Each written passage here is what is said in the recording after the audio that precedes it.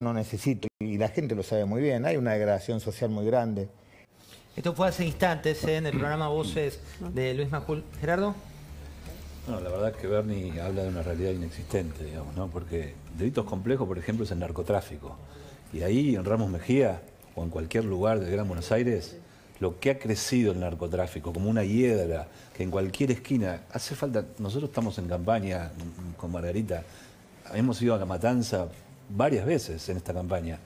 Y cuando vos vas y te juntás con los vecinos que te dicen que a las 5 de la tarde no pueden salir, que en la esquina venden droga, que la policía no pasa porque no tiene patrullero. En la matanza lo único que hay, Espinosa puso unos pasacalles que dice, compramos tantos patrulleros, nadie los ve los patrulleros, no están, no existen. Espinosa no solo es el intendente, es candidato a primer concejal, está absolutamente escondido abajo de una alcantarilla.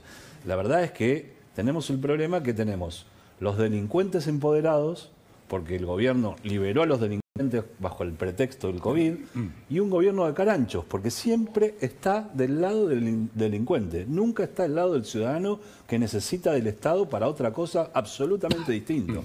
Y si hay algo que debería el Estado ocuparse, ya que es el Estado fantástico y grande que tenemos y que se ocupa de todo presente, en esto no solo está ausente, sino está presente en el lugar equivocado. Bueno, ahí Paula quiero compartir con vos datos de, Paz Rodríguez Niel, que él saca un poco de relato con información certera. Eh, ¿Cómo son los números, Paz? Mira, la realidad es que los números de la inseguridad en la matanza no coinciden los números que aportaba el gobierno de la provincia con lo que nos dicen a nosotros, pero son números extraoficiales dentro de la propia justicia de la provincia e incluso dentro de la matanza. En la matanza hubo, por lo pronto, te doy un dato, ocho homicidios en la primera semana de noviembre, tres en las últimas 48 horas. Eso, bueno, es lo que estamos viendo, ¿no?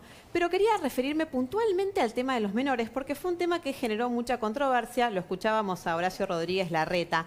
Te decía, Horacio Rodríguez Larreta decía, tiene, no puede ser que sean inimputables los de 16 años que están en condiciones de votar y tiene que haber un régimen penal juvenil para eh, los menores. Lo cierto es que las dos cosas ya existen. Los que tienen 16 años, la regla es que son imputables y hay un régimen penal juvenil. ¿Cuáles son los problemas?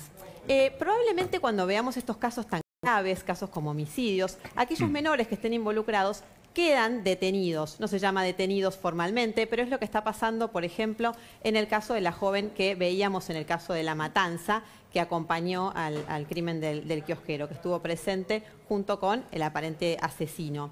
Eh, en, en esos casos normalmente no sucede esto, pero vamos a la raíz del problema. Mira, estaba hablando hoy con dos funcionarias judiciales y me decían, a los 15, a los 14, que ahí sí son inimputables, cómo funciona el sistema. Y acá es donde hay deficiencias que muchas veces son graves y en los delitos que más se dan, que son los delitos de arrebato, básicamente. Me comentaban el caso de un chico que a los 16 había caído preso por robar una bicicleta y tenía 35 entradas previas cuando era inimputable. Entonces, ¿qué es lo que pasa? ¿Hay que cambiar las leyes o hay que aplicarlas mejor? Y acá no solamente hay una responsabilidad de la justicia, sino también de los poderes ejecutivos, de los órganos administrativos, porque en ese caso no es imputable, está fuera del sistema penal, pero evidentemente el Estado no está dando la respuesta para esos menores. es una discusión muy compleja. Hay una búsqueda compleja, pero mientras tanto, Paula, ¿qué, qué es lo que pasa hoy? ¿Qué es la sensación que vas recogiendo? Bueno, lo que estamos viendo es una inmoralidad por mm. parte del gobierno de, de, Cristina y de Alberto Fernández. Si lo único que hizo desde que asumió la vicepresidenta es zafar de sus causas, hacer que zafen sus, sus, los que eran sus ministros, sus secretarios y beneficiarse económicamente. Entonces, cuando la gente, la gente de los barrios ve que los poderosos cada vez están con más, con más impunidad, con mayor privilegio, se sienten habilitados para que la vida de todos nosotros sea igual que un blanco móvil, viste como esa canción. Eso es lo mm. que siente mucho la, gente de la provincia de Buenos Aires. Y una dirigencia política que habla de los pobres y están absolutamente enriquecidas. Eh, a ver, Espinosa, ¿hace cuánto que no vive en La Matanza? Espinosa, ¿qué ha hecho con la plata de seguridad? Espinosa hace cuánto tiene al pueblo empobrecido y él cada vez es más rico. Espinosa era remisero, era el chofer de Balestrini y ahora es un multimillonario que dice representar un pueblo que cada vez está más empobrecido y ya no da más. Ahí Roberto hablando de, pobreza o la realidad no te veo con Filmina hoy, pero Eh, No, porque hablamos de- después se, se agarran con mi notebook. Mira, no voy a ir con tu notebook, pero sí les voy a mostrar lo que dijo Feletti, ¿eh? porque Feletti entró en la cancha y Feletti Mm. tiene bastante información para analizar con Kanchanowski. Veamos. hay un sector de la élite que encabeza Macri que este, está dispuesto a producir un desmadre social aún mayor que el que dejó la pandemia y él en su primer gobierno y esto también los argentinos tienen que tener tienen que tener este, claro a la hora de emitir el voto lo que estamos qué es lo que se está jugando ¿Qué onda, te dirían los chicos? ¿Qué onda con esto? Feletti es el secretario de Comercio. Macri, eh, ¿hace cuánto no está en el gobierno? ¿Y cuánto hace años. dos años. Dos años, Eh, y uno sí. va a decir, bueno, dale, dale un poquito para adelante. No, bueno, a ver, eh, mira, yo le diría a Feletti que primero, más que desborde social que esté impulsando alguien, en realidad ellos son especialistas en eso. En su momento fueron especialistas, ¿no es cierto? Pero, este, siendo el tema económico, te diría, mira, lo que tendría que hacer Feletti es mirar qué está haciendo el Banco Central. Él está tratando de frenar la inflación y mientras tanto el Banco Central está tirando cantidad de moneda al mercado. Que no traje los gráficos para mostrarlos, pero Lo octubre tenés acá, seguro. Octubre es el mes récord de emisión monetaria. ¿sí? Eh, emitieron 1,3 billones de pesos hasta ahora. El 77% se concentra en los últimos tres meses. Eso es. Mientras tanto, hoy revisaba las reservas del Banco Central. Ya están en números negativos. El Banco Central no tiene reservas propias. Cuando vos mirás los números, están vendiendo reservas que no son propias. Tenés la tarifa de los servicios públicos atrasado, el tipo de cambio oficial atrasado, eh, Después del. No sé cuál va a ser el resultado del domingo, pero de lo que sí te puedo asegurar es que seguramente, si no le va tan bien al gobierno, o sea, le va a lo mismo que la otra vez, va a ser un problema acá económico fenomenal en el medio de un gobierno sin credibilidad. Mira, ahí tengo para compartir, Margarita y Gerardo, con ustedes eh, lo que tiene Alfredo Sainz, que son tres medidas concretas, Alfredo, de la economía, porque el 15 de noviembre, hay que recordarlo, Argentina vuelve a amanecer, ¿no? Sale el sol, todo sigue corriendo. ¿Y qué pasa en la economía, Alfredo? Sí, el, el plan que está manejando el gobierno hoy, antes de conocer los resultados, un poco se podría definir, hay que pasar el verano. Eh, el objetivo es llegar, como lo, anunció Alberto Fernández, en un momento que un acuerdo con el fondo que se va a lograr, el, calculan, esperan antes de marzo, porque en marzo vos tenés los grandes vencimientos de 2.800 millones de dólares y este plan hay que pasar el verano, es aguantar un poco como la situación. ¿Qué va a pasar? Podemos anticipar un poco más de, más de cepo y más brecha, porque para contener el, dólar vas a tener que ajustar las medidas y esto va a estar aumentando más la brecha. Hoy el dólar blue subió 50 centavos y quedó un, hay un pasito los 200. El segundo tema, bueno, faltante, va a haber congelamiento de precios, es lo que venía, vence en teoría, congelamiento de alimentos y de medicamentos, es el 7 de enero. No podemos anticipar qué va a pasar, pero no sería extraño que el 7 de enero decidan, bueno, vamos a prorrogarlo unas semanas más, un mes más, dos meses más, porque no, no hay un plan de salida ya preprogramado. ¿Y cómo se va a ajustar esto? Por cantidades, va a haber menos productos. Y el tema de tarifas, el congelamiento se anunció hace unas semanas que se va a extender hasta abril, el congelamiento que viene ya de la época de fines del gobierno de Macri. Y acá también tenemos la experiencia argentina. Lo que se va a ajustar es por la calidad del servicio. Por las empresas que prestan los servicios de energía y gas, al no invertir, van a terminar deteriorándose el servicio y ya lo vimos otros veranos, va a ser seguramente un verano muchos cortes. Bueno, ahí está la realidad. Lo que viene después, Claro, yo haría una pregunta. A ver, ¿cuál es? ¿Quién va a tomar esas medidas? Hoy no se sabe quién gobierna la Argentina. Entonces, ¿estas son medidas de quién? ¿De Pelle, de Guzmán, de Feletti, de Alberto de Cristina? Ni siquiera me parece. ¿Quién va a sobrevivir el 15 en términos políticos e institucionales? Es muy grave lo que está pasando en la Argentina. Es un país sin rumbo, sin gobierno. No sabemos quién es el que maneja el timón de un barco que está a la deriva en realidad. Entonces, ya a esta altura no me preocupan las medidas que van a tomar, sino quién va a estar sentado ahí para tomarlas. bueno, ahí con esa realidad, ¿qué pasa? Hay dos comentarios. Uno, eh, la última era el congelamiento de las tarifas de Sí. los servicios públicos. Ya vienen congeladas hace rato. Cuando vos mirás dónde aumenta el gasto público todos los meses, lo comparás contra el mismo periodo del año anterior, lo que te vas a encontrar es que las jubilaciones suben bien por debajo de la tasa de inflación. Los sueldos de los empleados públicos suben bien por debajo de la tasa de inflación. Cuando son to- todo lo que son gastos, lo que llaman programas sociales, suben por debajo. Por eso te nos interesa a los piqueteros protestando. ¿Qué es lo que sube muchísimo? 88% de aumento. Subsidios económicos.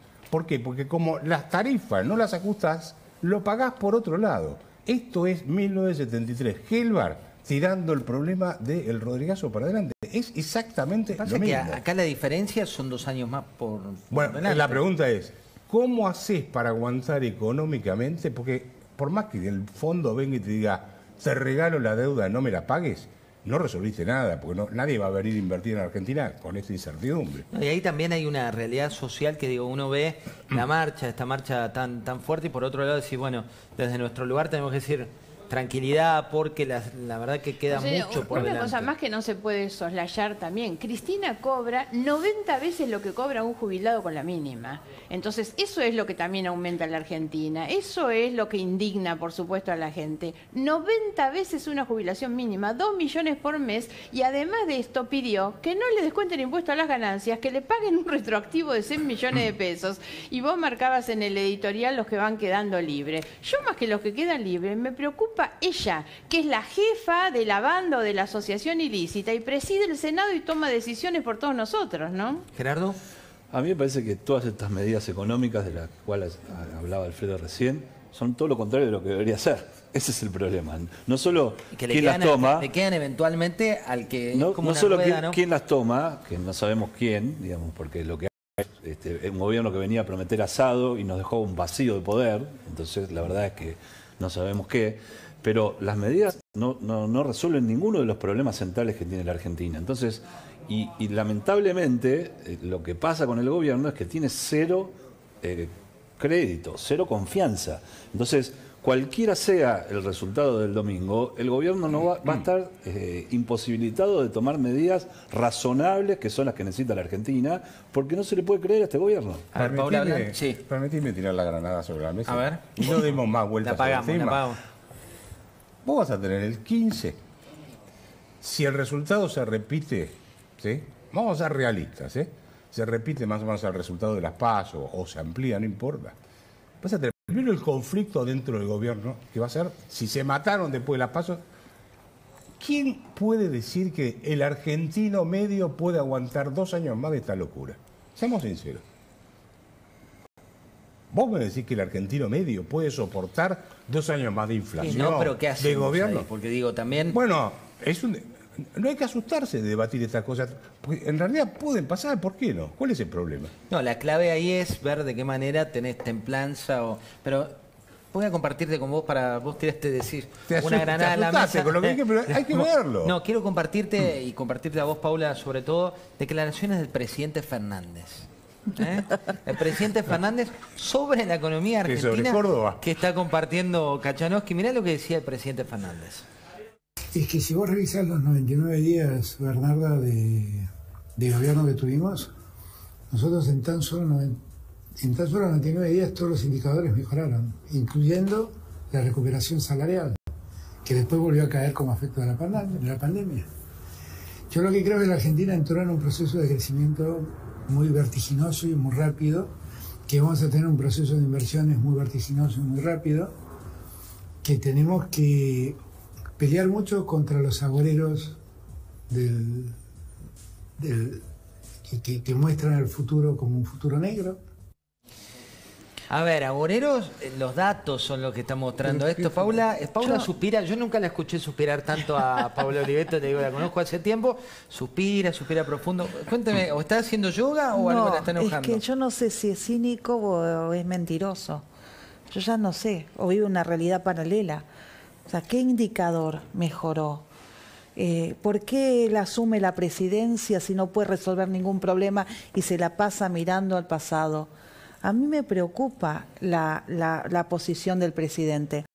Y, y lo que estamos mirando, yo pienso en la gente que terminó de cenar y nos mira en su casa y es todo pálida. Bueno, al desborde de- del oficialismo, a todo esto que nosotros estamos diciendo, tenemos la oportunidad el domingo de empezar a poner una salida, por lo menos un Congreso con una mayoría más equilibrada, para que a esta vocación autoritaria, esta vocación intervencionista, podamos tener cordura en el Parlamento y poder conducir una situación que no va a depender de la oposición, ni del periodismo, ni de la gente.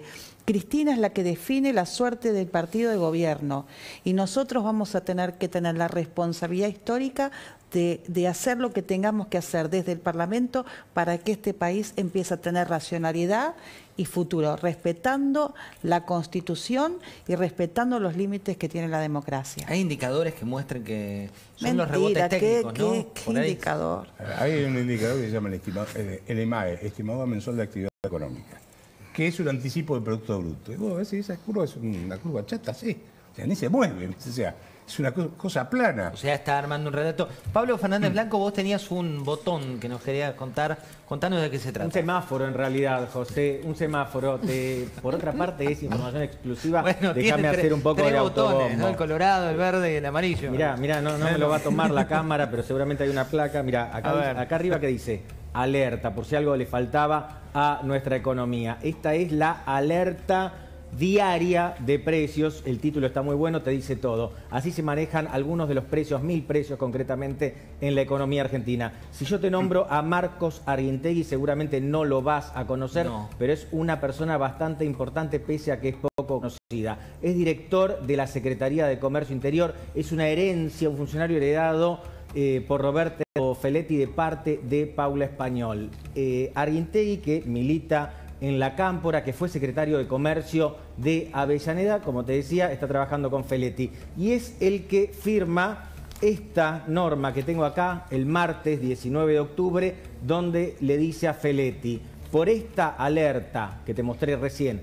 por esta alerta diaria de precios, hay que hacer algo y hay que tomar medidas urgentes. ¿Qué hace Feletti? Obviamente todo esto estaba guionado, estaba eh, determinado de antemano. que hace Feletti, como te decía? Saca la lista de precios controlados y, empresa y empieza su raíz de control de precios. Ahí lo tenemos. Estos son los números, José, que mira diariamente el gobierno para determinar si te va a levantar el teléfono a las grandes empresas alimenticias, a los laboratorios, para sentarte a la mesa y, por acuerdo o de manera coercitiva, tratar de controlar algo que para mí es imposible, que es bajar la inflación con control de precios.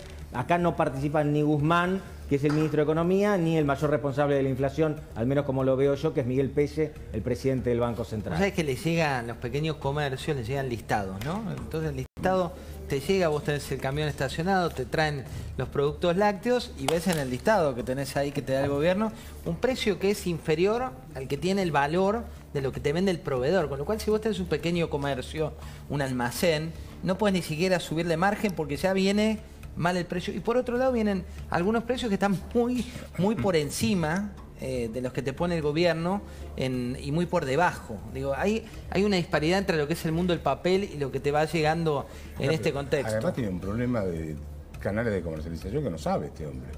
El 40% de lo que se comercializa de almacén va por los supermercados, pero el 60% va por los almacenes y por los autoservicios. No son los supermercados los que más venden. Y la carne y la verdura no se venden en los supermercados, se vende una parte menor. La carne la compras en la carnicería normalmente y la verdura la compras en el verdulero de la esquina. Sí, camine, señora, camine, lo que decía la mamá de la Chalita, doña Alita. Mm. Quiero compartir, eh, Margarita, sí. No, eh, un gobierno tanto para eh, poder ordenar la economía como la seguridad necesita de dos elementos clave, autoridad y credibilidad. Y este gobierno no tiene ninguna de las dos cosas. Tenemos un presidente tremendamente débil y un gobierno nada creíble, nada previsible, ¿no? Es imposible manejar ninguna de estas dos cuestiones que son las que ordenan la convivencia social, ¿no? Sin esos dos elementos. Gerardo, te voy a compartir frases de Bernie en una gran entrevista que le hizo el equipo de Voces. Mirá lo que decía. Su gobierno, porque si no, yo sé cuál es el... ¿A qué le llama mi gobierno? Lo llama el gobierno Alberto Fernández. El eh, gobierno nacional. Yo tengo gobierno. Mi gobierno. Este es, el pequeño no, truco del peronismo. No, Unos son de izquierda. El gobierno Yo soy peronista. bueno, el gobierno. Eh, Alberto también dice que es peronista. Cristina también dice que es peronista. A uno no hay que jugarlo por lo que dice, sino por lo que hace. Bueno, su gobierno liberó a presos de manera masiva. Usted me escuchó a mí poner el grito en el cielo y si no son por mis reclamos eh, públicamente que hice, seguramente hubieran seguido liberando presos. Bernie, mi gobierno, tu gobierno, nuestro gobierno, Yo creo que Bernie tiene plazo fijo, ¿no? El domingo Bernie no es más ministro de la provincia de Buenos Aires. Me parece que él está estirando una situación sin sentido, eh, no queriendo seguir como responsable de la elección, pero el domingo Bernie no es más ministro de la provincia de Buenos Aires. Lo que viene puede ser peor siempre. ¿eh? Sí, ¿por qué, Margarita? Sí.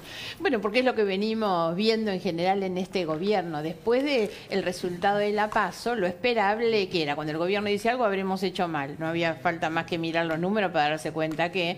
Y lo esperable que era, bueno, que llame a alguien que sepa de algo, yo digo, a ver si hubiera llamado economistas prestigiosos, médicos prestigiosos, expertos en educación, en algo. No, llevó a Mansur y Aníbal Fernández. Entonces es imposible pensar que se va a ver ni que lo que viene puede ser mejor. Pero vos ¿no? pensás que alguien prestigio- con prestigio. Podría ir con se- este gobierno. Claro, ¿quién se va a sentar ahí con, con arran- trayectoria? Mansur arrancó hiperkinético, pero ¿Eh? ahora Mansur había arrancado hiperkinético con las facturas temprano y todo. Y pero- esto te gasta cualquiera. Ay, bueno, vamos a ir a un muy breve corte, muy cortito. Antes vamos a ver el gol de Bedoya y cuando volvamos eh, de ese corte vas a tener de todo. Pero veamos el humor y volvemos, dale.